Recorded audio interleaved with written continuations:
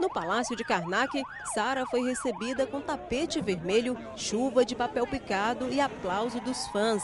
Um forte abraço do governador Wilson Martins representou o agradecimento de muitos piauienses que acreditaram e torceram pela vitória de Sara Menezes. Você tem noção da alegria, da festa, da comemoração dos piauienses aqui enquanto você estava lá? Agora eu estou tendo, antes eu não tinha nenhuma noção, agora eu estou vivenciando isso e estou muito feliz mesmo.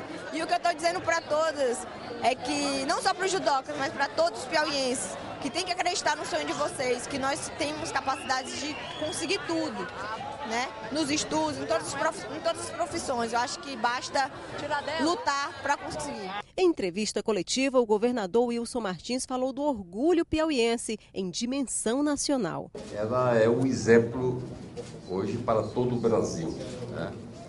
É o mérito, é principalmente dela, o talento também da equipe que, que treinou ao longo de, de vários anos, né, do incentivo da família, mas é hoje um orgulho do povo do Brasil.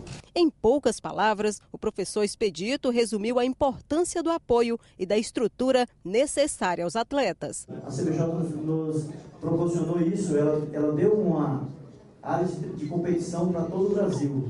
Então, de qualquer evento que queira ser realizado, nós temos é, de material temos condições de fazer. O que, nós vamos precisar? Agora tem que ter parceiros para que esse evento seja transcorra da melhor forma possível. Daqui para frente, nos projetos futuros de Sara estão as crianças, um desejo da judoca antigo que promete entrar em prática. Eu quero estruturar a minha academia, o local onde eu treino, uma sede própria e e quero é, trabalhar com as crianças. Eu adoro ajudar as crianças.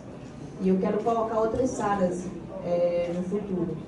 É isso que eu penso e vou correr atrás desse sonho para poder é, concretizar, igual como eu concretizei essa unidade.